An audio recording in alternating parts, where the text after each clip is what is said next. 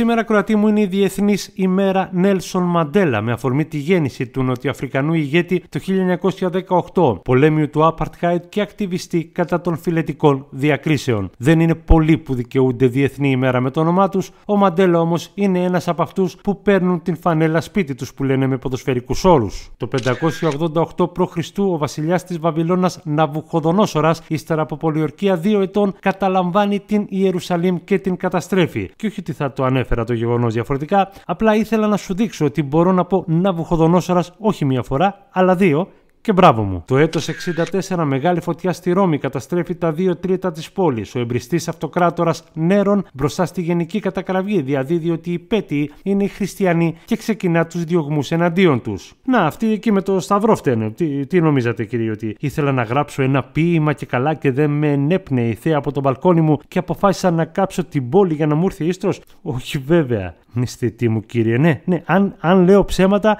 να πέσει φωτιά να σας κάψει. Στις 18 Ιουλίου του 1610 θα φύγει από τη ζωή ο Μικαελάντζελο Μερίζη Καραβάτζο, Ιταλός ζωγράφος και μετέπειτα Χελονονιτζάκη που υπέγραφε ως σκέτο Μικαλάντζελο, δηλαδή Μιχαήλ Άγγελος, δηλαδή Άγγελος Μιχαήλ, δηλαδή να σου πω, σίγουρα ήταν Ιταλός και όχι από το Πελέντρι. Σαν σήμερα το 1817 θα φύγει από τη ζωή η Αγγλίδα συγγραφέας Jane Austen. Σημαντικότερα έργα της στο Περιφάνεια και Προκατάληψη και το Λογική και Ευαισθησία. Λογικά εμπνευστής των μεταγενέστερων επιτυχιών Άστρα και Όραμα, Αστερίξ και Οβελίξ και του Σμαράγδια και Ρουμπίνια θα σου φέρω. Το 1870 η πρώτη Βατικάνια Σύνοδος υιοθετεί το δόγμα του παπικού αλάθητου. Βέβαια, αλάθητος είναι μονάχα ο Θεός, αλλά αν ο Θεός έχει επιλέξει τον Πάπα ως επίσημο πρώτο του εκπρόσωπο, τότε θα επέλεξε κάποιον σχεδόν τέλειο. Ναι, αλλά τον Πάπα δεν τον επιλέγει ο Θεός, τον επιλέγουν οι άλλοι υψηλόβαθμοι, οπότε πού καταλήγουμε τώρα με αυτό; Στο ότι αν αμφισβητείς του Πάπα το αλάθητο δεν έχεις συγχώρο χάρτη για σένα και η κόλαση είναι έτοιμη να σε υποδεχθεί. Οπότε,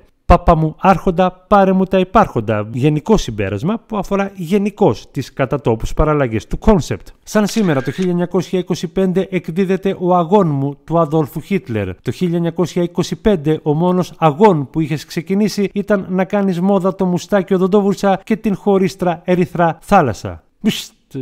Στις 18 Ιουλίου του 1976 η 14χρονη τότε Ρουμάνα αθλήτρια Νάντια Κομανέτσι κατάφερε να αφήσει άναυδο όλο τον πλανήτη πετυχαίνοντας το πρώτο, αλάθητο, ολοστρόγγυλο δεκάρι στην ενόργανη γυμναστική στο Μόντρεαλ του Καναδά. Το 1991 επισκέπτεται την Ελλάδα ο πρόεδρος των Ηνωμένων Πολιτειών George Bush ο πρεσβύτερος, ο οποίος διακηρύσει την πεποίθησή του ότι σύντομα το Κυπριακό θα οδηγηθεί σε αποδεκτή από όλες τις πλευρές βιώσιμη λύση. Ναι, τι, Σύντομα είναι το σε μία εβδομάδα, σύντομα είναι και αυτό που απαντάνε στους Θεσσαλονίκη όταν ρωτάνε να σου πω εμείς πότε θα έχουμε μετρό; Τελειώσαμε και σήμερα, Κροατή μου. Αύριο βεβαίως θα ξαναρχίσουμε με καινούργιες στάσεις στην πορεία του χρόνου. Μέχρι τότε εσύ να μην ξεχνάς να αγαπάς πολύ και να γράφεις ιστορία.